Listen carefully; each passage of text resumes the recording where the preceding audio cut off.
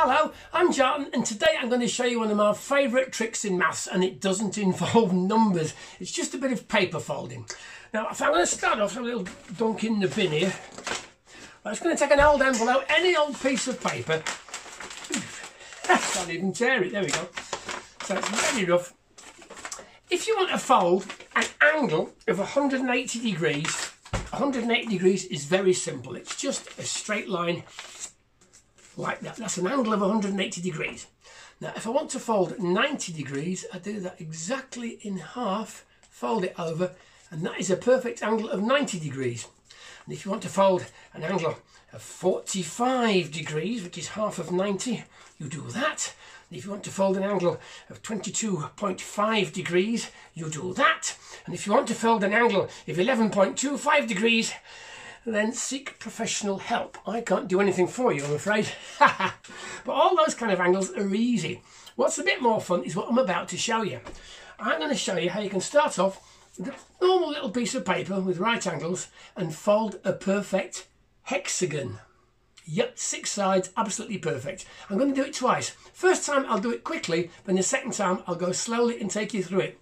But the first thing we have to do, before we fold the hexagon, we fold an equilateral triangle. Here we go.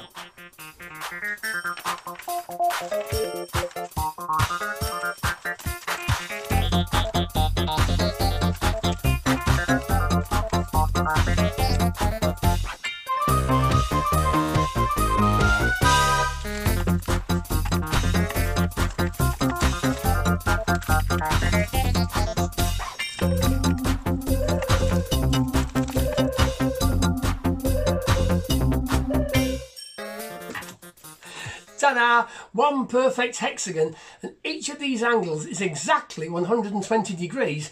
And of course, if you were watching, you realise that halfway through, that's the equilateral triangle, and each angle is 60 degrees. Right, let's take you through it and show you how you can do this. The first job is we need to fold our paper lengthways right down the middle. Get the long middle, as I sometimes call it.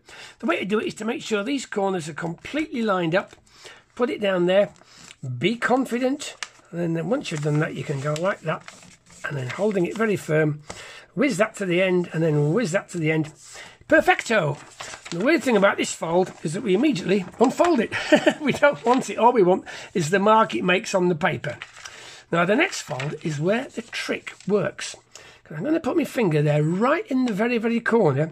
Then I bring the paper down here. And can you see? I'm putting the corner of the paper exactly on that fold that we've just made and that's got to come exactly down from that corner at the top. So once you think you've got it right hold it nice and steady and then with a bit of confidence way by magic we have created an angle of 60 degrees. I'll tell you why as well this is great. I've got this marked up to show you why this works. See these black lines here? Well if I do that that's how the paper started. That first fold we made chopped that edge in half. And so that black line is half as long as that edge. So when we fold that down there, obviously that is twice as long as that. So if we make that twice as long, let's see what happens. There we are. When we put those two of those together, that line is the same length as that line, is the same length as that line. That's an equilateral triangle. So all of these angles are 60 degrees each.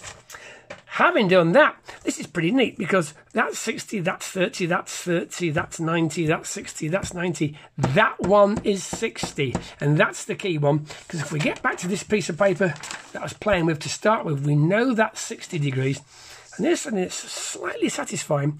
If you now fold that over like that, exactly from that corner down there. See where my finger is there? And if you line those up perfectly, we have got a perfect equilateral triangle. no, we haven't. We've got a sticky out bit. Hang on, you always get that bit. Right, let me just put that there. perfect. Put that there. Okay, and actually what you can do is you can just tuck that in. Come on, you. There you goes in there. There you goes in there like that. And that, as I was saying, is our perfect equilateral triangle. Each angle is 60 degrees. But I promised you a hexagon. A hexagon you shall have. The next thing we need to do is find the centre of this triangle. Now some triangles have got lots of different centres, but equilateral triangles luckily only have one. So I'm going to fold this in half, you put corner to corner, Then when I do this fold going down here, that fold should go straight to that corner. There we go, that's one that divides the line, that's pretty good. Let's just do one more. Uh, fold that one to there, okay, over to there, so those two match up. There you go, straight down to there, put in that line. Then where these two lines cross, we need to find that little magic point there. It's there, a little bit twiddled, but we can see exactly where it is. That is the centre of our triangle. And now we put that one to the centre there.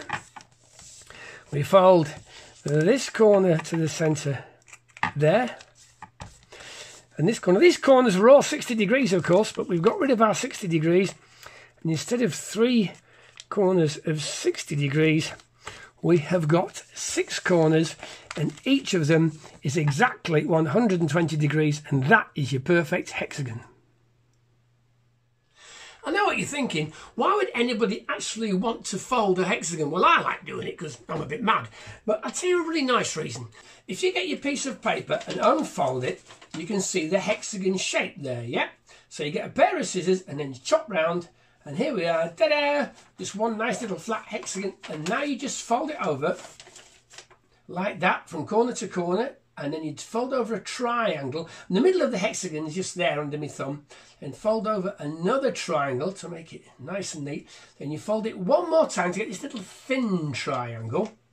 Then once you've done that, get some scissors and then cut out. And I'm not very good at this, to be honest. But look, I've had a go. That's what I've done. And when you open it out, this to me is rather magic. Look what you get. I think it's great. It's a perfect six-point snowflake. Just what you need for winter decorations. What's more, when you cut yours out, you're probably going to do better patterns than I am. Yours is going to look fabulous. So have a go at the hexagons. And in the meantime, thanks for watching. Stay safe. Have fun. Bye-bye.